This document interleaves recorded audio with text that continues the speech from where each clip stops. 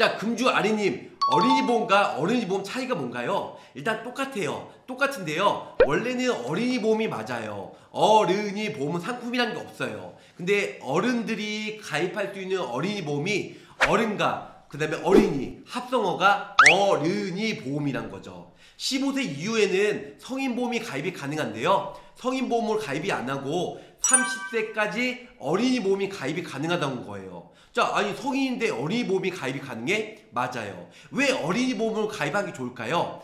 첫 번째로는 납입 면제예요. 성인 보험은 암이나 뇌졸중, 급성만 납입 면제가 되거든요. 근데 어린이 보험은요. 암이나 유사암, 유사암이 납입 면제가 돼요. 유사암은 딱 네 가지잖아요. 갑기, 경제, 갑상선암, 경계성 용량, 제자리암, 기타 피부암 이런 유사암이 납입 면제가 되고 또 뇌질환에도 성인보험은 뇌졸중만 됐지만 뇌혈관 질환, 질병 코드가 10개가 되기 때문에 아무래도 납입 면제 범위가 넓다. 또 하나는 급성 심근경색만 성인보험에서 납입 면제가 되는데요. 어린이 보험에서는 허혈성 심장질환, 협심증을 동반한 질병 코드 6개. 그래서 허혈성 심장 질환에 대해서 납입 면제가 되기 때문에 먼저 심장이 쫄깃쫄깃하고 답답하면요. 협심증이 먼저 와요. 그 다음에 부정맥, 그 다음에 심근경색. 그래서 부정맥보다 가장 중요한 건 협심증 보장이 매우 매우 중요한데 어린이 보험에서는 납입 면제가 허혈성 심장 질환